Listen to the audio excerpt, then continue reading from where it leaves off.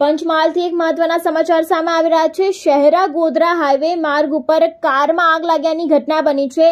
પસનાલ ચોકડી પાસેથી પસાર થતી વેળાએ આ કારમાં આગ લાગી હતી ને કારમાં આગ ભભૂકી ઉઠતા કાર બળીને ખાક થઈ ગઈ હતી. સાવચેતીના ભાગરૂપે કાર ચાલક સહિત કારમાં બેઠેલા વ્યક્તિઓનો આબાદ બચાવ થયો છે. ઘટનાને પગલે શહેરા નગરપાલિકા ફાયર ફાઈટરને જાણ કરતા ફાયર ફાઈટર ઘટના સ્થળે પહોંચ્યા હતા અને કારમાં આગ લાગ્યાની ઘટના બનતા લોકોના ટોળે ટોળા ઉમટી પડ્યા હતા. અતિશય ગરમીના કારણે કારમાં આગ લાગી હોવાનું અનુમાન સામે આવ્યું છે. ત્યારે ગુજરાત સહિત અનેક જગ્યાએ આગ લાગ્યાની ઘટનામાં વધારો થઈ રહ્યો છે. ત્યારે ફરી એક વખત પંચમહાલના શહેરા ગોધરા હાઈવે પરની આ ઘટના છે, જેમાં કારમાં આગ લાગી હતી, જોકે કારની અંદર બેઠેલા પરિવારનો આબાદ બચાવ થયો હતો. અચાનક જ કારમાં આગ ભભૂકી ઉઠતા અફરાતફરીનો માહોલ પણ સર્જાયો હતો. સાવચેતીના ભાગરૂપે કાર ચાલક સહિત કારમાં બેઠેલા વ્યક્તિઓનો આબાદ બચાવ થયો હતો. ઘટનાને પગલે શહેરા નગરપાલિકા ફાયર ફાઈટરને જાણ કરવામાં આવી હતી અને તેઓ દ્વારા તરત જ ઘટના સ્થળે પહોંચીને આગ ઉપર કાબુ મેળવવામાં આવ્યો હતો. જો કે કારમાં આગ લાગ્યાની ઘટના બનતા લોકો ઘટના સ્થળે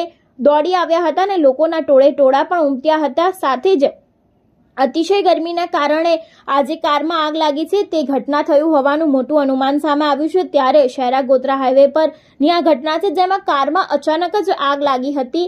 પસનાલ ચોકડી પાસે પસાર થતી વેળાએ આ કારમાં આગ લાગી હતી ને કારમાં અચાનક જ આગ ભભૂકી ઉઠતા લોકોમાં અફરાતફરીનો માહોલ જોવા મળ્યો હતો અને સાથે જ લોકોના ટોળે ટોળા ઉમટી પડ્યા હતા. જોકે સાવચેતીના ભાગરૂપે કાર ચાલક સહિત કારમાં બેઠેલા વ્યક્તિઓનો આબાદ બચાવ થયો હતો અને ઘટનાને પગલે શહેરા નગરપાલિકા ફાયર ફાઇટરને જાણ થતાં ફાયર ફાઇટર ઘટના સ્થળે પહોંચી ગઈ હતી ને કારમાં આગ લાગ્યાની ઘટના બનતા લોકોના ટોળે ટોળા ઉમટી પડ્યા હતા. અતિશય ગરમીના કારણે કારમાં આગ લાગી હોવાનું અનુમાન પણ સામે આવ્યું છે. ત્યારે અનેક વખત કારમાં આગ લાગ્યાની ઘટના સામે આવી છે. ત્યારે ફરી એક વખત પંચમહાલના શહેરા ગોધરા હાઈવે પર આ ઘટના બની છે, જેમાં કારમાં આગ લાગી હતી. જો કે જાનહાનિને નુકસાન થયું નથી. સાવચેતીના ભાગરૂપે કાર ચાલક સહિત કારમાં બેઠેલા લોકોનો આબાદ બચાવ થયો છે.